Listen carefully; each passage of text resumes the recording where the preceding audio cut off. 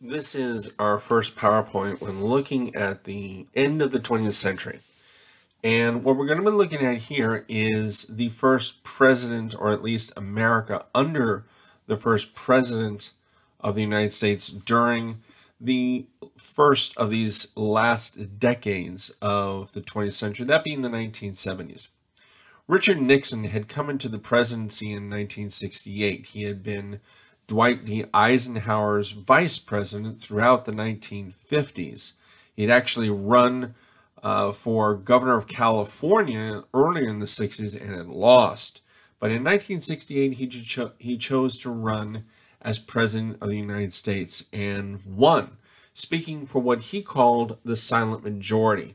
Nixon had promised a number of things. First of all, ending the Vietnam War, and that's when we pick up our lecture today. One of the things that Nixon realized was that one of the reasons why Vietnam was continuing was because North Vietnam was being supported by two of its and two of the most powerful communist allies in the world at the time. That, of course, being China and, of course, the Soviet Union. Throughout the early 1970s, Nixon did something completely unprecedented we have to remember that back in the 1950s, when he was vice president under Eisenhower, Nixon was one of the big communist hunters. Uh, he was on the House Un American Activities Committee. He was one of those that prosecuted and went after communists. And yet, here he was in the early 1970s, beginning this new decade, as someone who was now reaching out for the first time to the two major communist superpowers. That, of course, being the People's Republic of China, the Communist Government of China, and, of course, the Soviet Union, now under the leadership of the Premier Leonid Brezhnev. And one of the reasons why he does this is he basically convinces both of these powers that neither one of them really had any vested interest and there really wasn't any profitability. There wasn't anything to their advantage to continue to support the North Vietnamese. And so he reaches out and essentially establishes peaceful relationships with both of these major communist powers. And kind of one of the results is, first of all, they both break off any kind of support to the North Vietnamese within a year or so. The Vietnam War is over. Victory for Richard Nixon. Another thing that also happens is that the Cold War cools.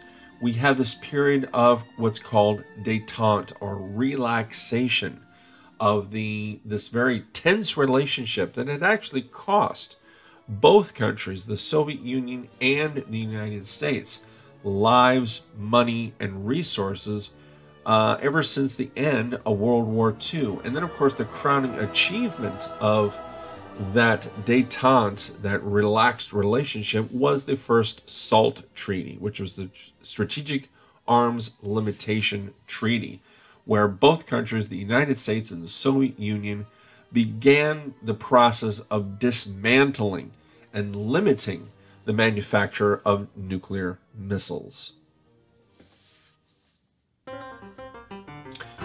At the same time this was happening, there were some major cultural events that were happening in the United States that were changing um, how Americans saw a number of major issues in the United States. In 1973, the Supreme Court ruled on a case in front of them referred to as Roe versus Wade. These two names were actually pseudonyms, neither one were the actual names of the plaintiffs. But the case in question was whether or not the constitutional right to privacy, which is actually a collection an interpretation of a collection of the rights listed in the, the Bill of Rights, the first 10 amendments to the Constitution, did this right to privacy extend to a woman's ability to terminate a pregnancy? In other words, to have an abortion. On one side, you had those that were called the Right to Life movement, who were very much against legalizing any form of abortion. And then, of course, you had the pro choice, uh, as they refer to themselves, as the side that wanted a woman to at least have the legal opportunity to be able to terminate a pregnancy. This Supreme Court case, Roe v. Wade, ultimately decided that a woman, in fact, did have a constitutional right to privacy and thus the right to terminate a pregnancy within the first trimester. In other words, within the first three months of her pregnancy. Anything beyond that was left up to the states. Now, unfortunately, rather than solve this issue once and for all in the United States, this Supreme Court case ultimately led to the debate growing even more. The Supreme Court case, while not a an order uh, actually legalizing uh, abortion simply said that a woman's right to do it was not unconstitutional and therefore was constitutional and therefore she had the right to do it. This, of course, led the debate wide open as far as laws that could limit abortion rights, laws that would extend abor- abortion rights, and ultimately has been the beginning point to the debate where we see it today. Another major movement that happened during the Nixon administration, and is actually, of course, of special uh, importance to us in the Corps Academy, is the environmental movement. Uh, in 1970, the Environmental Protection Agency was created. By the way, this was created during the Nixon administration. It was created by President Richard Nixon himself. The Clean Air Act was also passed. These two major government pieces of legislation were really the first time that the federal government took a major stand when it came to, for the first time, protecting the environment of the territory of the United States. And this is largely to the credit of President Nixon. This is the first time this had happened. Uh, unfortunately, these acts often get forgotten in light of what we will see here in just a little bit. But looking at these, the Environmental Protection Agency was established and its job was set to enforce pollution standards.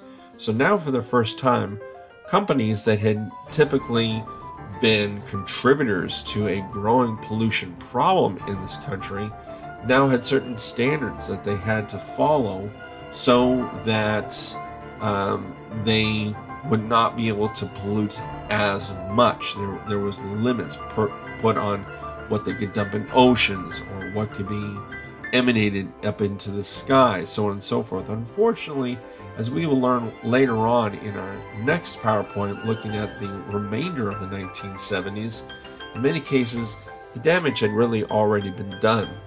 But this was the first step to, to attempting to clean it up. The Clean Air Act also was a major step. For the first time, cars were only allowed to emit so many pollutants and this is actually one of the reasons why cars in the 1970s got so big because a lot of car companies realized that these gadgets that they had to attach onto the engines of American cars in order to control pollution also limited the amount of power that could be put out by cars. And so, what did the American car companies do in response? Of course, they made the cars bigger. And this, of course, led to the huge boats of, you know, Cadillacs and Lincolns and the big cars, uh, you know, the big pit mobiles, as, we used to call them uh, in the 1970s. Unfortunately for Richard Nixon, despite these various successes, there was something looming as he was preparing to run for re election in 1972 that ultimately would derail his presidency and would lead to one of the, if not the, greatest scandal ever to rock a presidential administration in American history. In June of 1972, five men were arrested after being found to have broken in to offices at the Watergate Hotel. Now, these offices probably wouldn't be all that big of a deal if they hadn't been the offices of the Democratic National Committee. Now, to everybody listening to this, they're scratching their head going, Mr. Amos, why do we care? The Democratic National Committee was the organization that was in charge of all of the Democrats, uh, the Democratic Party's elections throughout the entire country. Everything down from local and municipal elections like governors and mayors and local representatives and congressmen, all the way up to the Democrats' nominee for President of the United States. Now, what made this even more suspicious was, first of all, the burglars weren't trying to steal anything quite the difference quite different they were there to deliver or plant something and what they were discovered planting or having in their possession was a number of bugging equipment cameras, microphones, things to essentially bug the offices. So, who would want to listen in or hear or know what was going on behind the scenes of the Democratic National Committee? The other thing that made it very suspicious was how these five individuals were were paid. It was discovered that they had been paid now, where did the money come from? This gave a lot of hints that there may be larger organizations involved in what's seeming to be kind of a small time break in. Lastly, one of the five individuals, a man by the name of James McCord, was a former security advisor of Nixon's campaign staff known as the Committee to Re-elect the President, or CREEP. Yes, it actually was called CREEP. This was a group of people, an organization that the President of the United States, President Nixon, had actually put together specifically to help him get reelected in 1972. And one of these burglars, as it was discovered in newspapers, was actually a member of that organization. This led a number of people in the media to suspect that a connection possibly between the president himself and these burglars may in fact exist.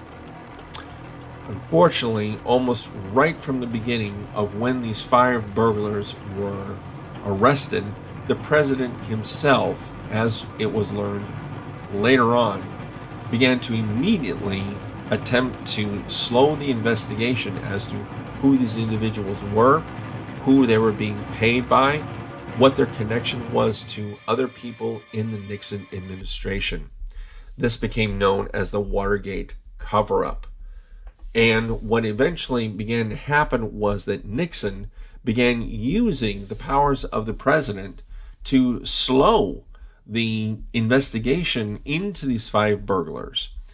And he used actually the power of the president, he used members of the CIA and FBI to actually halt and slow down.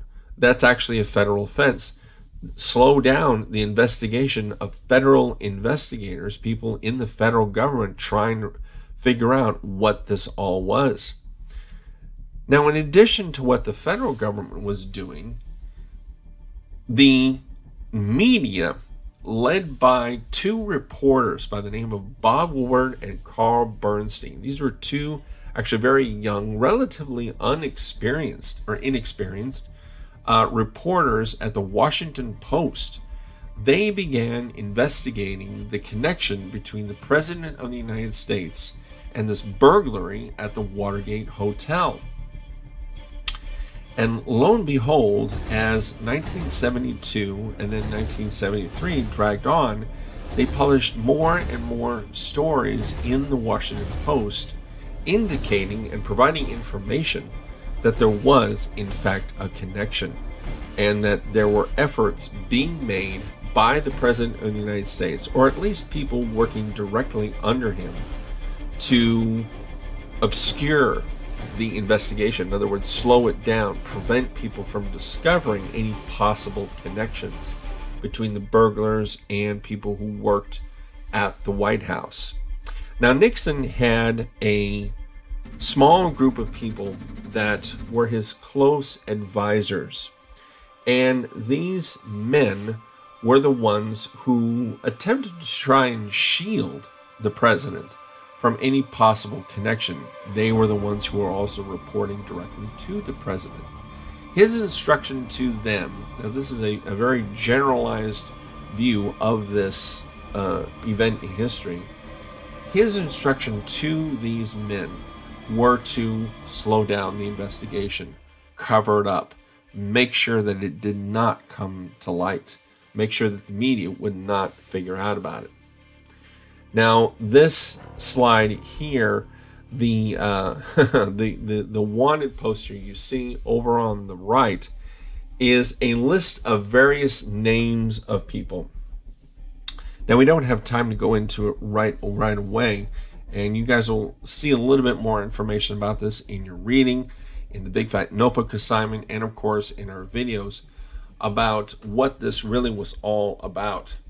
By the beginning of 1973, James McCord, who had been one of the five burglars, admitted that members of Nixon's administration ordered the Watergate break in. In other words, they were under direct orders by people who worked for the President of the United States to break into the Watergate Hotel and plant all of these bugging devices and to illegally uh, get information about who the various nominees for various offices the Democrats had in mind.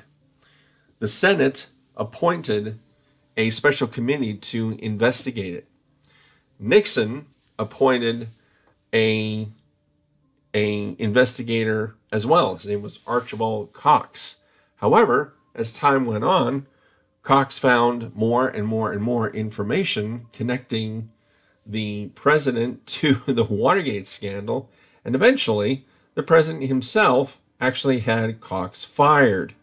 Uh, this enraged people in the Congress and was a pretty clear indication that, in fact, Nixon must have some direct connection to the Watergate burglary. And as time went on, it was discovered that just about all of those that worked directly with the president in the White House had had some kind of connection in the Watergate burglary or similar burglaries around the entire country. There had been many such uh, illegal activities that had been run by people who were under orders by um, from people who worked directly with Nixon to essentially gather all kinds of scandalous information on people that Nixon might in fact run against. Now, the interesting thing is in 1972, Nixon easily wins against his opponent. He actually wins in one of the biggest landslides in American history up until that point. In fact, the only election that uh, someone had won by a bigger margin had been FDR back during uh, the Depression and World War II eras. Now, where this investigation really came to a head was when it was discovered that Nixon, President Nixon, had actually tape recorded um, conversations inside the Oval Office, that's the president's own office inside the White House. And those conversations were between him and a lot of the people who it had been discovered were involved with the Watergate uh, scandal, the whole Watergate burglary, this whole Watergate incident. And when it was discovered that these tapes existed, it was immediately ordered that Nixon give up these tapes. Archibald Cox, who was the, the guy who Nixon himself had been actually forced to appoint as someone who was investigating this whole situation, demanded that Nixon hand over these tapes. Nixon refused.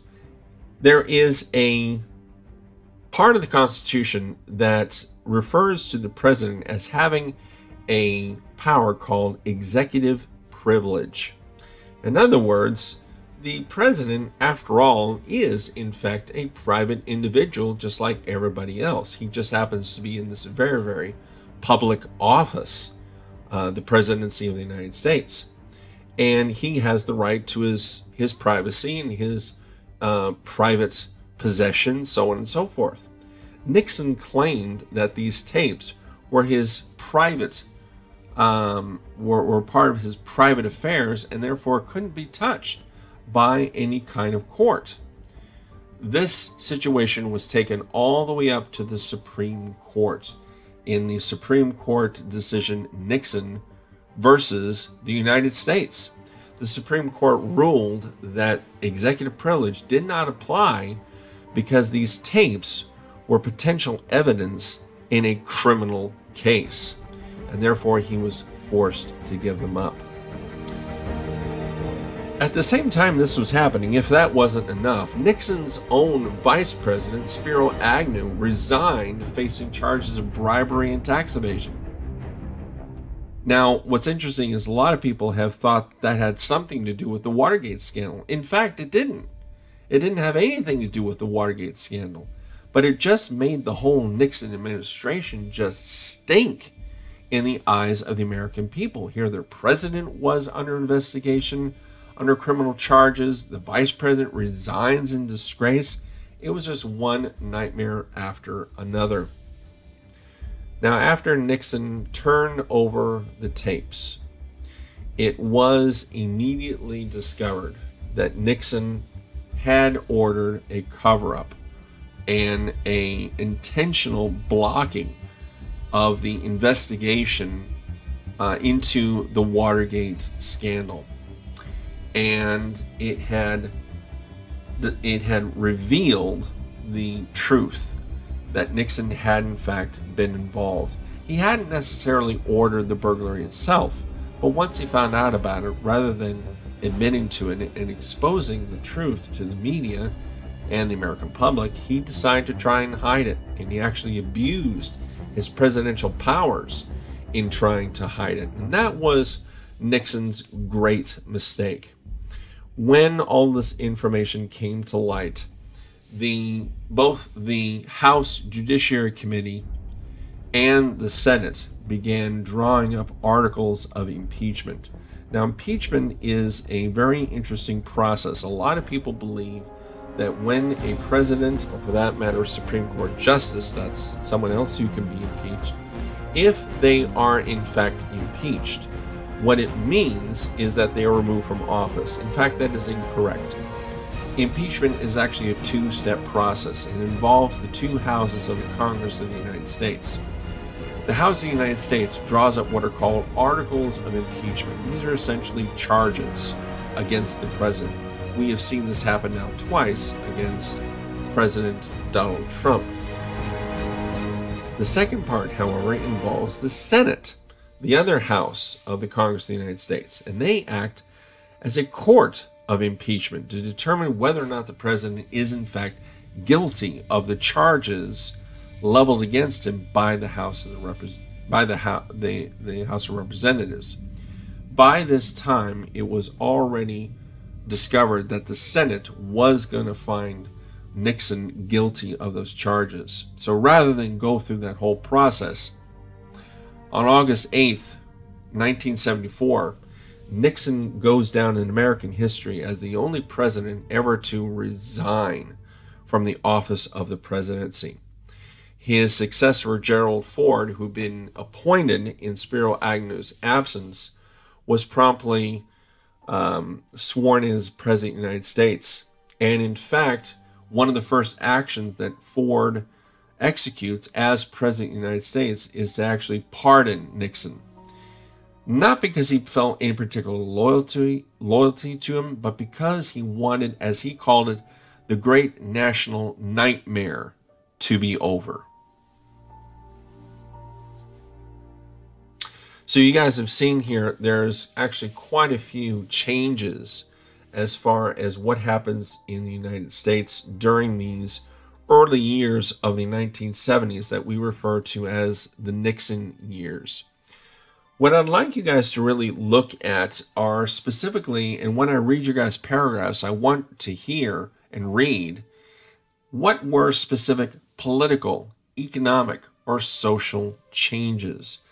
Some of you guys like to put just kind of a, a, mishmash of just things that happened. This is a summary.